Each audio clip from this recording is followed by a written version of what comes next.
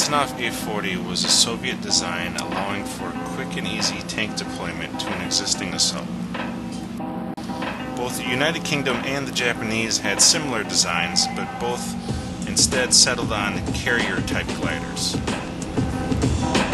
One of the biggest problems with deploying vehicles at the time was that the crew deployed separately, so uniting them on the battlefield and getting them prepared took a lot of time, while the glider design allowed the the vehicle and be on the battlefield in minutes. In 1942, the A-40 was tested on a T-60 tank converted into a glider and lightened for the flight. It was towed up by a bomber, which had to ultimately ditch the glider due to stability problems with extreme drag.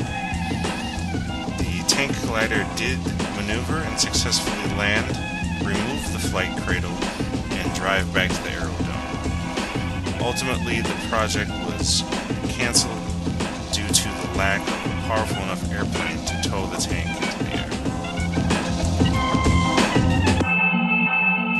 I've wanted to do this one for a long time. I've always thought it was just a crazy design, and I really hoped it would work.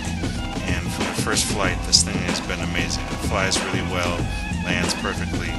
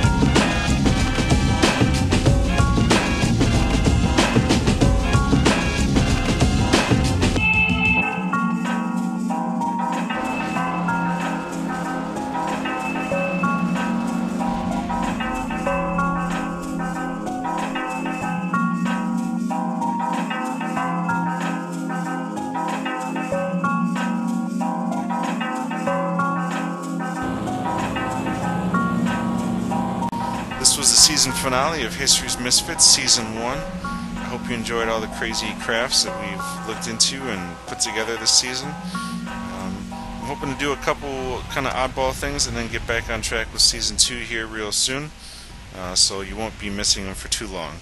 So thanks for all the support, and like and subscribe to see more.